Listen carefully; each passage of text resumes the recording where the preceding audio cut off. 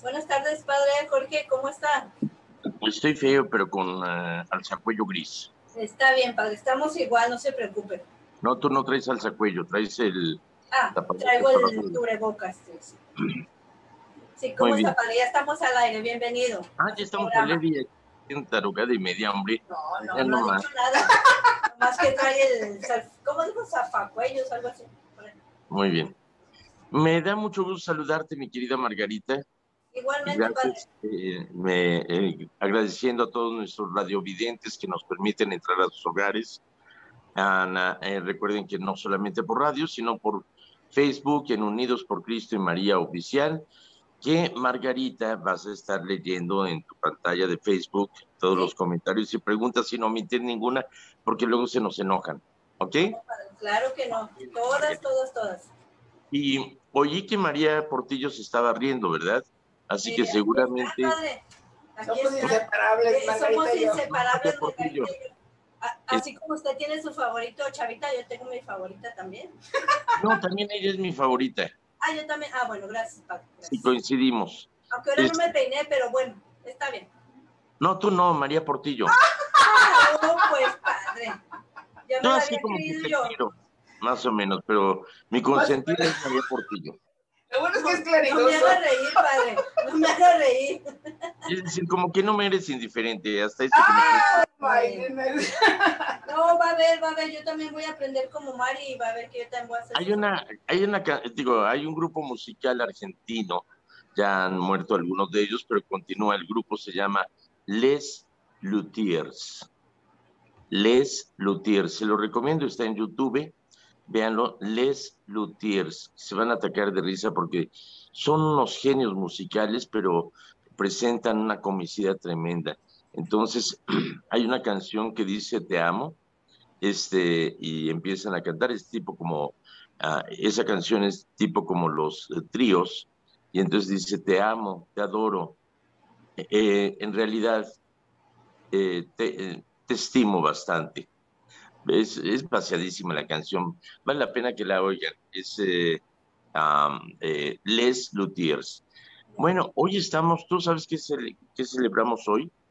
Pues eh, hoy es primero de junio, es, cumpleaños de mi hermano, ah, padre, pero de ahí, este, no sé, dígame. El hermano de Margarita, pues. En, cumpleaños de mi hermano. Sapo Verde eres tú, Sapo Verde eres tú. Sapo Verde, hermano de Margarita, Sapo Verde eres tú. Está bueno. Tan, tan, qué bonito cantamos, ¿verdad? Este, y además de eso, hoy está cumpliendo 30 años de matrimonio Beatriz y Abel Samarripa. Así que felicidades a Abel y un monumento a Beatriz por aguantar tantos años a Abel. Así es. Así, Abel, que es un gran amigo mío, lo, eh, los quiero mucho a esa familia. Allá de Tracy, él era el entrenador de los acólitos me los traía, pero firmes y muy bien ordenaditos, muy bien. Así que un cariño muy grande que le tengo a todos nuestros radioescuchas que nos están oyendo en Tracy. Allí voy a ir a celebrar misa el día 14 de junio a la una y media de la tarde, domingo 14 de junio a la una y media de la tarde en el Centro de la Sagrada Familia. Así que pasen la voz, ahí nos veremos. Eh, ¿Qué más? Ah, entonces estábamos, además de celebrar el cumpleaños del hermano de Margarita y además de celebrar a Abel Samarripa y a Beatriz por sus 30 años de casados, estamos celebrando a San Justino mártir. San Justino que eh, nació en eh, la capital de Palestina en ese entonces, en el año 100, y que nació de unos papás paganos pero él estaba interesado en el estoicismo y en diferentes prácticas filosóficas. Él le interesaba conocer una respuesta. Y se dice que caminando por la playa se encontró a un viejo que le dice, mira, si quieres conocer realmente a las respuestas, conoce el cristianismo, que es la fe verdadera. Y entonces se interesó por conocer las sagradas escrituras y se fue eh, involucrando y se dio cuenta realmente de tanta sabiduría y, que daba respuestas a la vida de él. Entonces conoció a este, los cristianos y él, antes de su conversión, le admiraba cómo los cristianos estaban dispuestos a dar la vida antes que renunciar su fe. Entonces decían, ese Cristo debe de ser alguien realmente importante.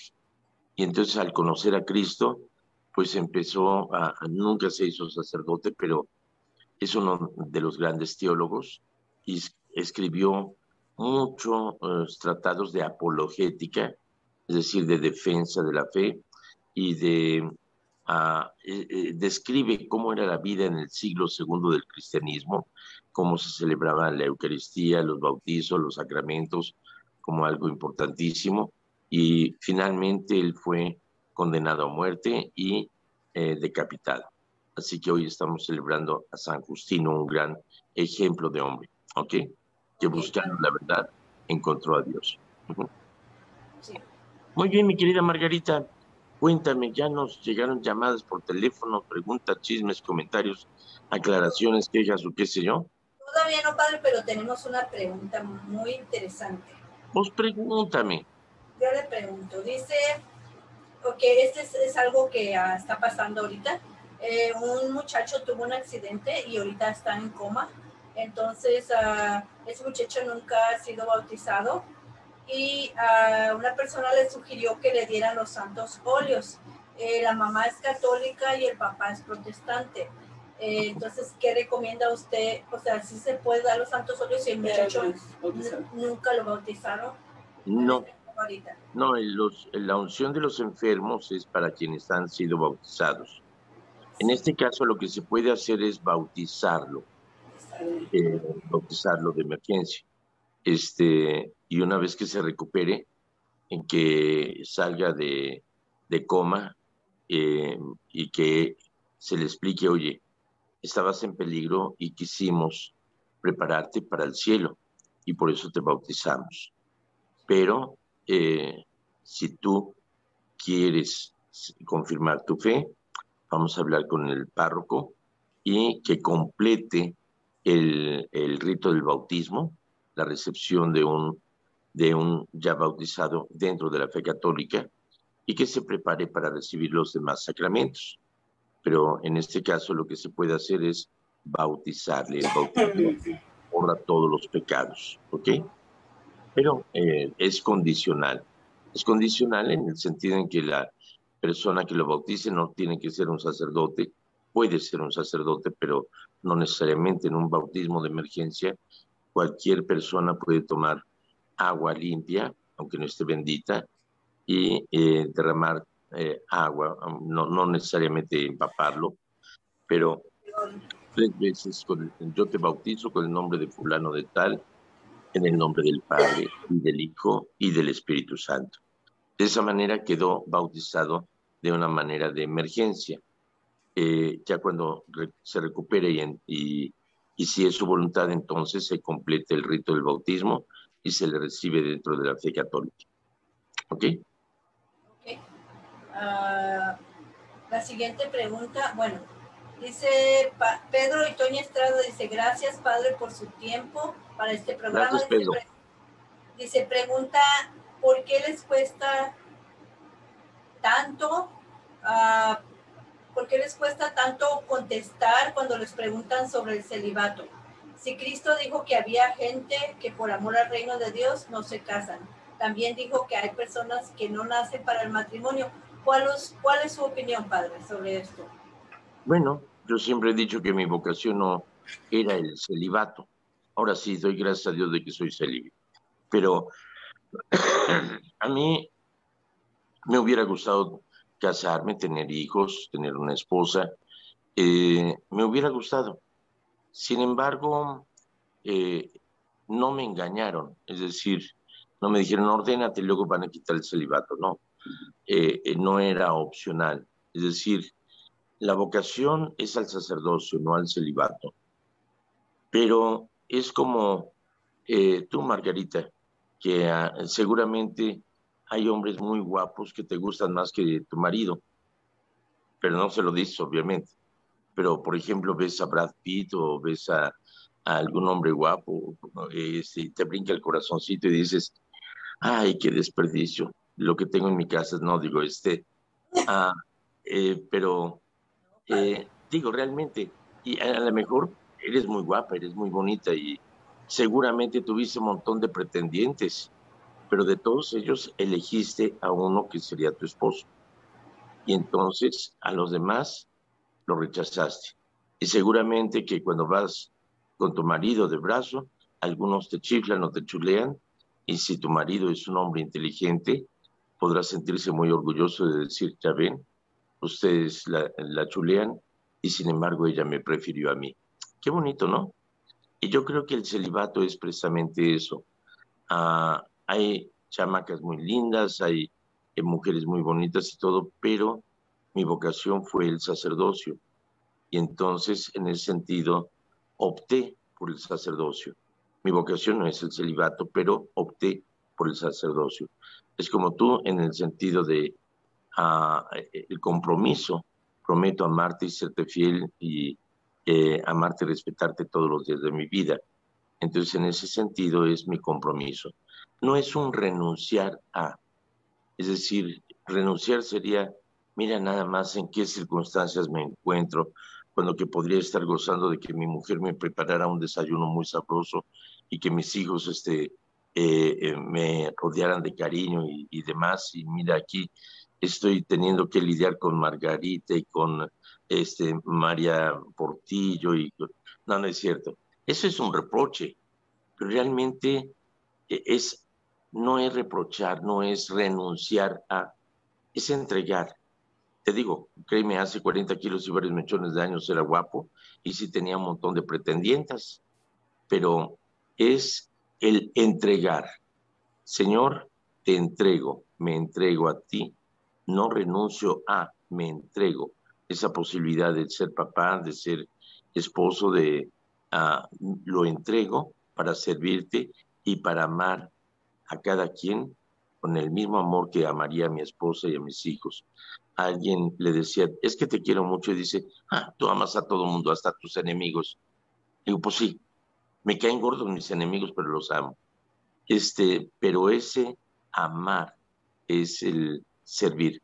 El origen del celibato tiene su origen en España en el siglo VI, en el concilio de Elvira, que fue un concilio regional y que presentaba la problemática de que los edificios de la iglesia pasaban en herencia a los hijos de los sacerdotes, o sea que los sacerdotes eran casados este, desde un principio.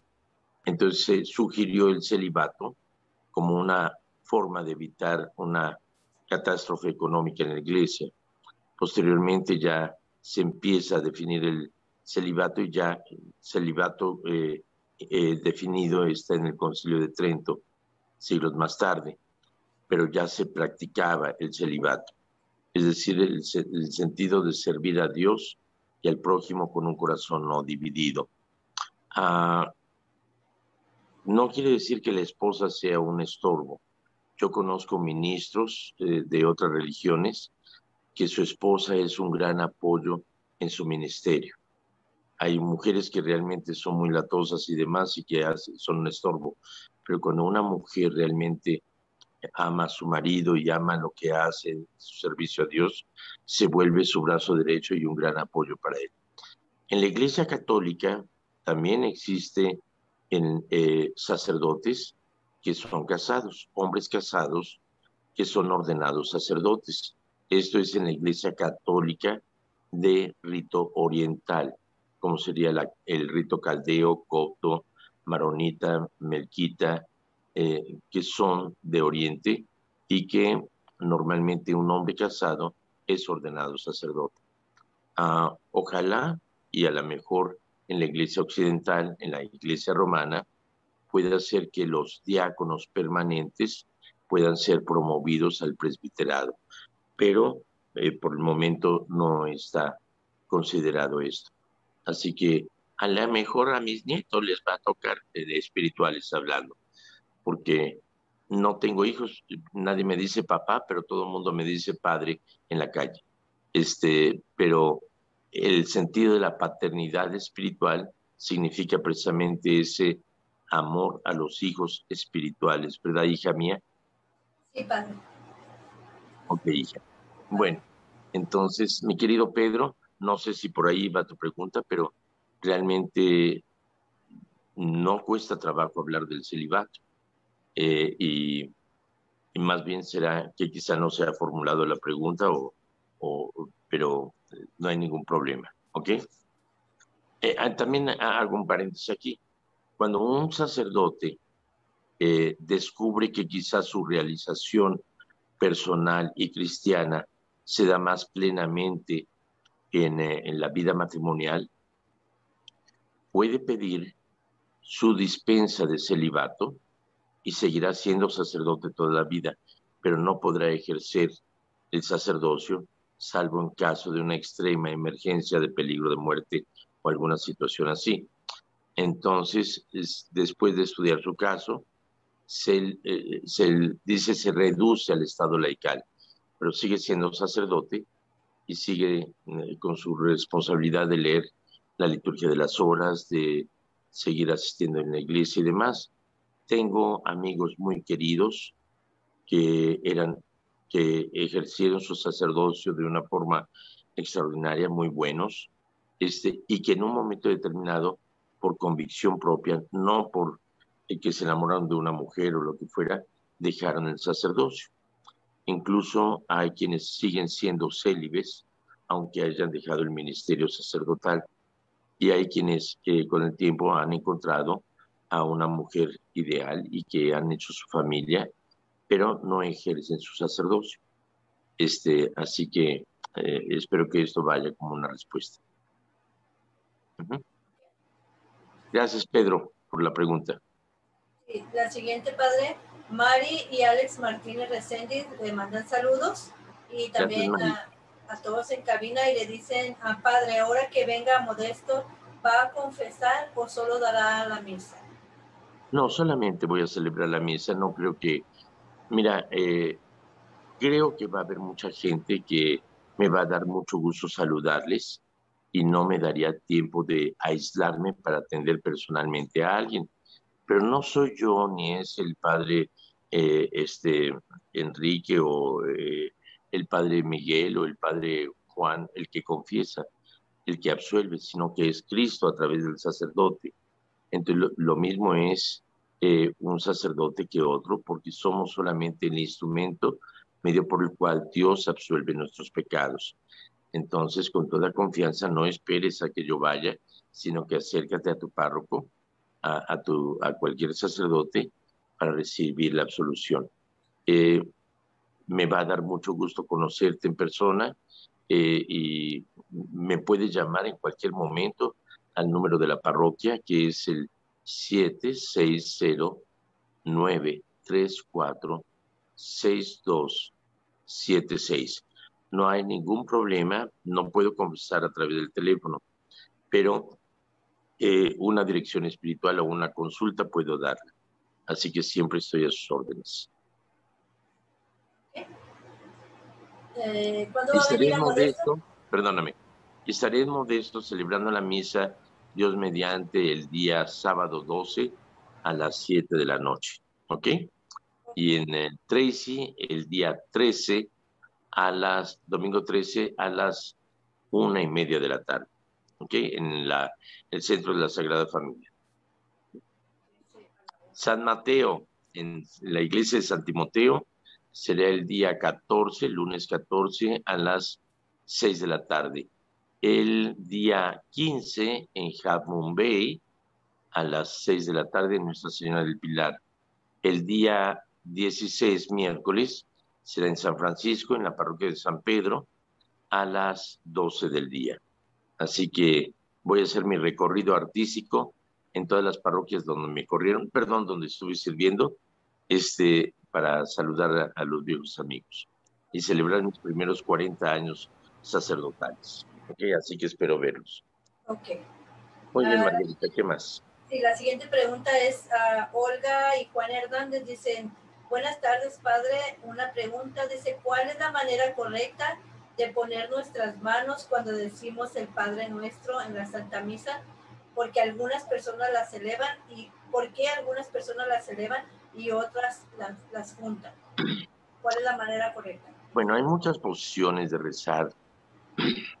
Antes de contestar esto me vino a la mente un amigo muy querido, que es eh, campeón de karate, de taekwondo, cinta negra, y que en una ocasión lo asaltaron y le pusieron una pistola enfrente.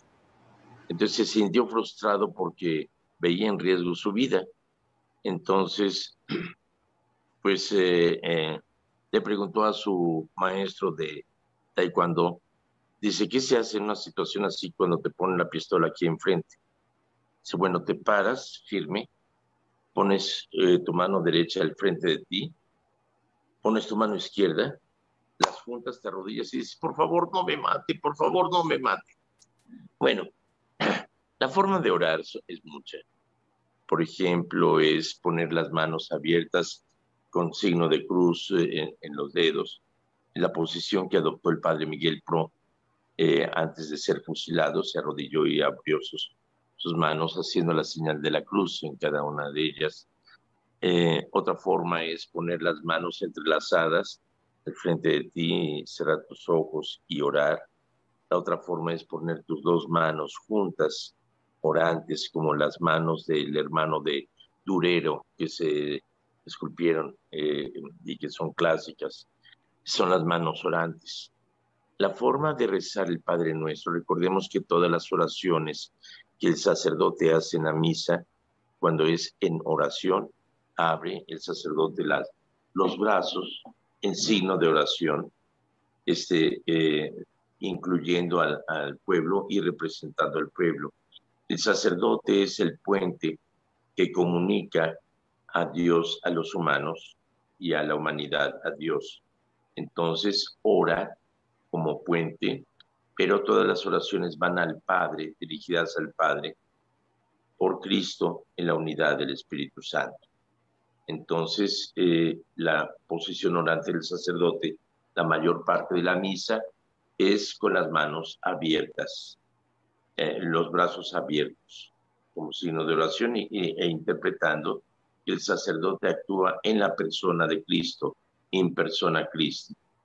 Pero eh, los feligreses no deben de imitar los movimientos ni decir las palabras que corresponden al sacerdote Ah, entonces se han adoptado muchas ah, actitudes, por ejemplo, de el Padre Nuestro rezarlo con los brazos abiertos, no, esa es la posición del sacerdote.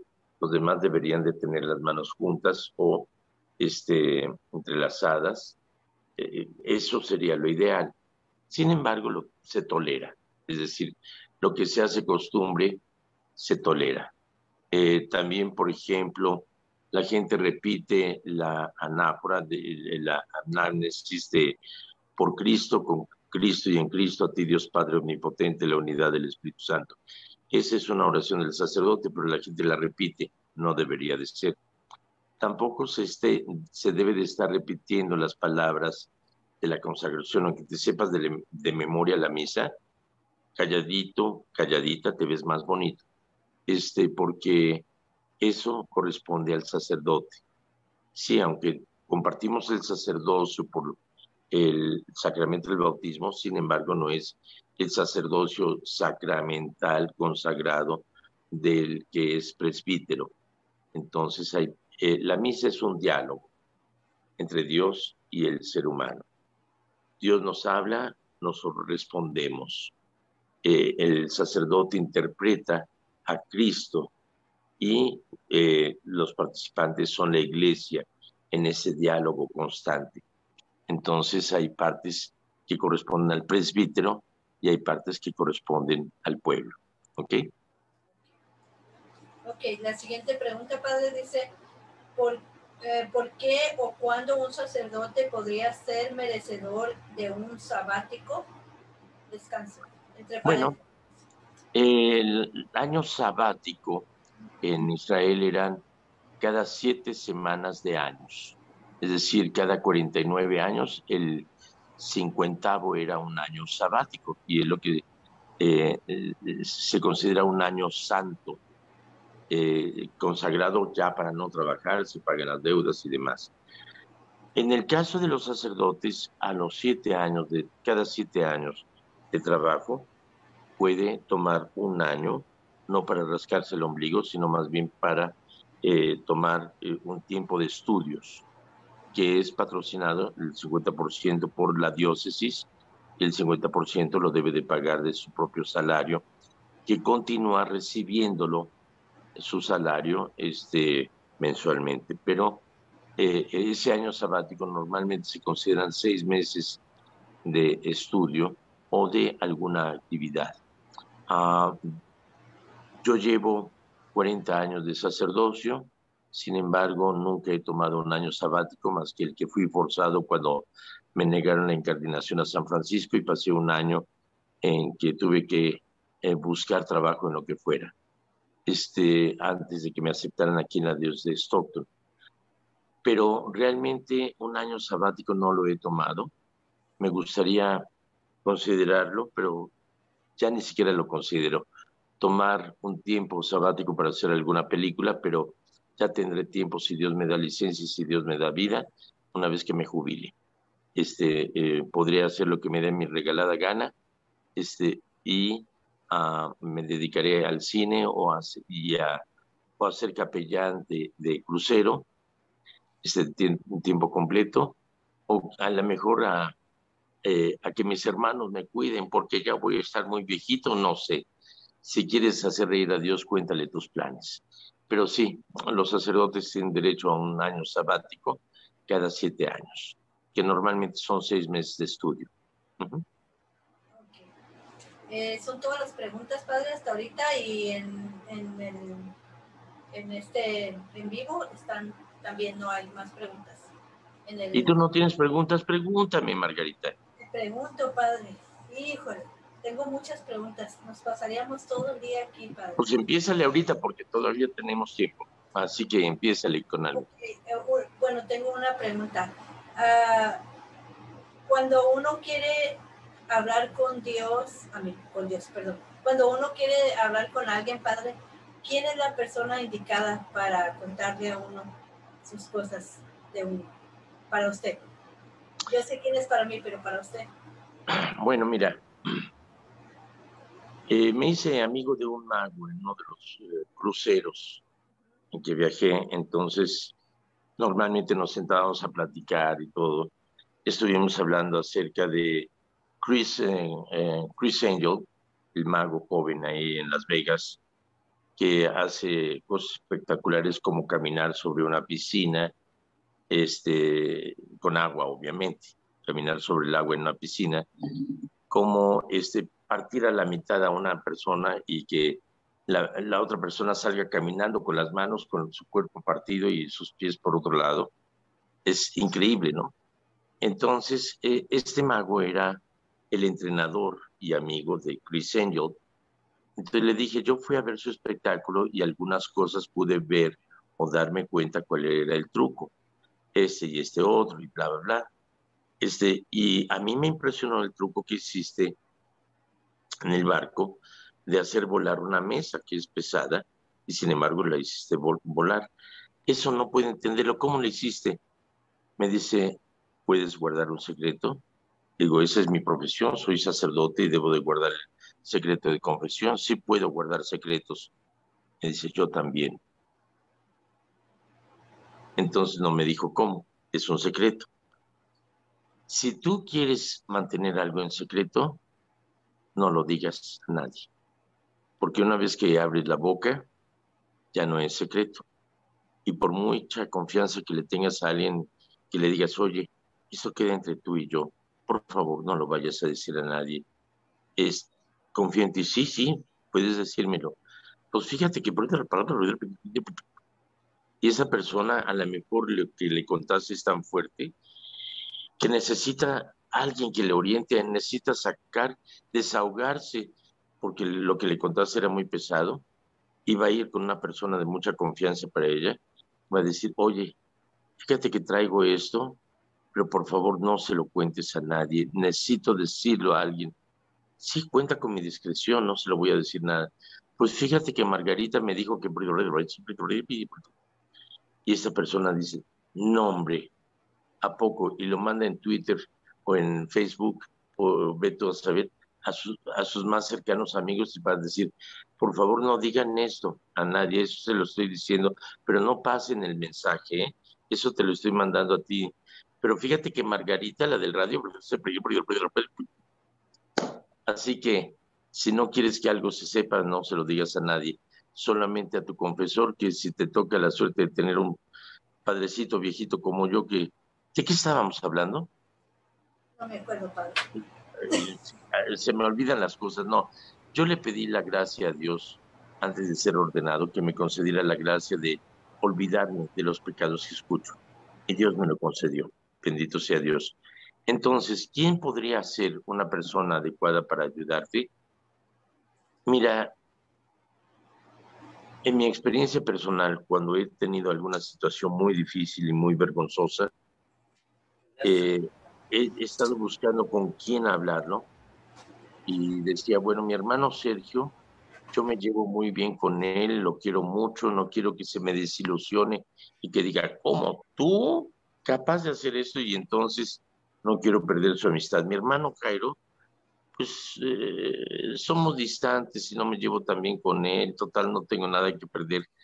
Pues recurrí a mi hermano Jairo a platicar con él y realmente a partir de eso eh, me gané, eh, me gané su confianza, su apoyo y creció mi amistad con mi hermano Jairo. Y realmente quien, quien más te quiere es quien es cercano a ti. Es decir, tu familia es incondicional. Haga lo que hagas, nunca te van a dejar de querer. Mi hermana Estrellita me dijo eso, así si era lo peor, yo no te podría dejar de querer, soy tu hermana. Y eso me conmovió realmente. Eh, la gente que te ama nunca te va a dejar de amar. Los que son verdaderos amigos estarán contigo. Los que no lo son no valía la pena. Así que hay gente que es muy divertida para acompañarte, para platicar, para jugar, para eh, cotorrear, pero no son tus amigos. Quienes son tus amigos son los que están contigo y que no siempre te dan por tu lado, sino que te confrontan y que te amonestan. Entonces, ¿quién puede ser el mejor consejero, el mejor amigo? Quien tú consideras que es una persona discreta, que te ama, que es sabia y no tengas miedo a decepcionarle, porque quien te ama no, no se va a decepcionar, te va a apoyar y no te va a dejar de querer. ¿Sí? Que por cierto, quiero decirles que Margarita, fíjense, Ahora sí ya se enteraron todos. Ya se enteraron, padre. Estamos en Facebook, mi modo. Sí. bueno, padre, la siguiente pregunta dice, esta persona sirve en la iglesia, dice, pero no soporta a su esposo. Entonces dice, ah, bueno, no soporta a su esposo y le hace la vida imposible. ¿Hace mal? A ver, no, la primera, sí, no soporta a su esposo y le hace la vida imposible. ¿Ella a él o él a ella? No, ella, porque dice, dice padre. Sí, dice padre, yo sirvo, bueno, ella, ¿eh? no yo. padre, yo sirvo en la iglesia, pero no soporto a mi esposo y le hago la vida imposible. ¿Hago mal? Así es la pregunta. Muy mal, muy mal. Porque habría que ver qué es lo que no soportas de tu esposo. A lo mejor es un reflejo de lo que tú misma haces. Entonces, eh, yo te aconsejaría, en primer lugar, necesitas una ayuda de una tercera persona, no de tu comadre que te va a estar diciendo, ay, ponle almidón en los calzones y ponle este pica pica y uh, ponle ah, harta sal a los frijoles para que no le gusten y demás. No, no se trata de cómo fregar a tu marido, se trata más bien de alguien que puede ayudarte a ti a descubrir cuál es la razón por la que no soportas a tu marido. Eh, a lo mejor eh, no soporta algo que en un principio te atrajo. Fíjate que es muy cierto eso, por ejemplo, ves a un cuate que es simpatiquísimo, que cuenta chistes, que es el alma de la fiesta, ese, y después se vuelve contra ti, eso que te gustó. Ay, nunca tomas las cosas en serio, no puedo hablar contigo sin que tú salgas con una broma, no, mm, ¿por qué no me escuchas?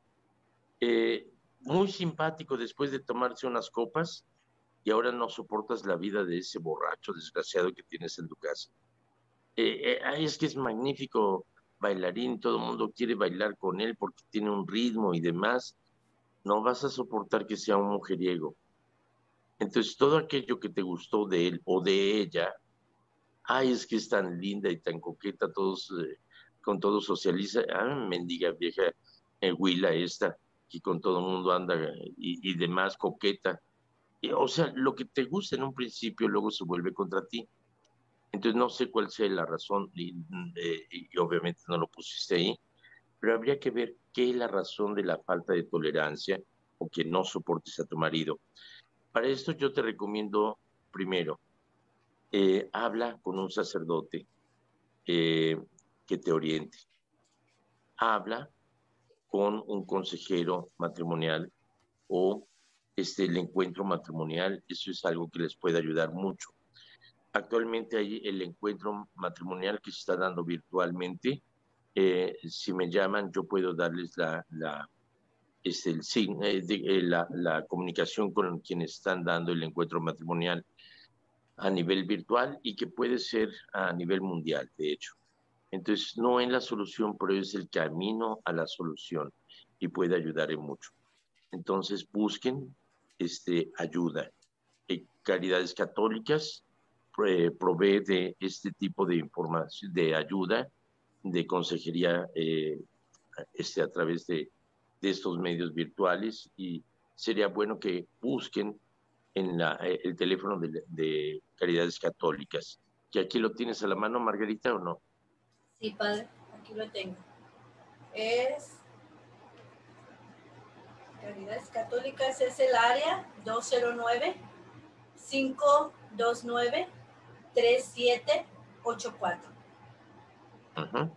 Este, entonces, eh, pueden buscar consejería matrimonial que puede ayudarles. Ahora, si realmente hay un motivo de peso por el cual no aguantes a tu marido y que te está haciendo la vida imposible, pues no me atrevo a dar un consejo ahorita, sino hasta que hables con algún sacerdote. Pero el, el matrimonio es un medio de santificación. Prometo amarte y serte fiel en lo próspero y en lo adverso. Ahorita estás pasando por la adversidad en la salud y en la enfermedad. Y ahorita está la enfermedad. Entonces yo creo que ahorita es cuando hay que buscar el fortalecer esa relación y ese don del sacramento. ¿Ok? Ok, padre. Ella, ella lo que quiere saber, padre, es, dice que si puede seguir sirviendo en la iglesia por todo eso que siente ella. Yo creo que es importante el entender que en la iglesia todos somos eh, pecadores que queremos dejar de serlo, pero tenemos defectos y tenemos errores. Eh, a mí me cuesta trabajo ir a encontrar a un sacerdote para confesarme. Entonces me arrepiento de mis pecados